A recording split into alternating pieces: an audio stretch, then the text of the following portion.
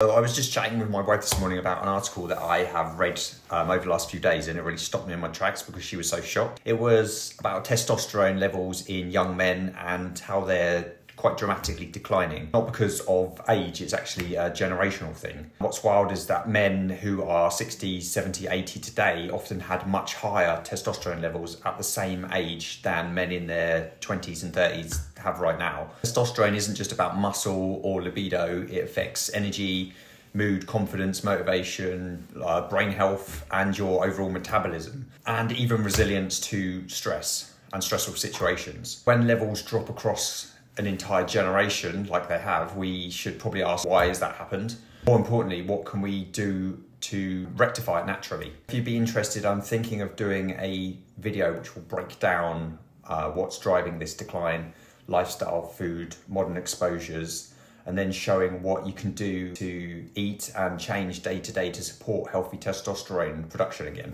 Let me know in the comments if you'd like to see that.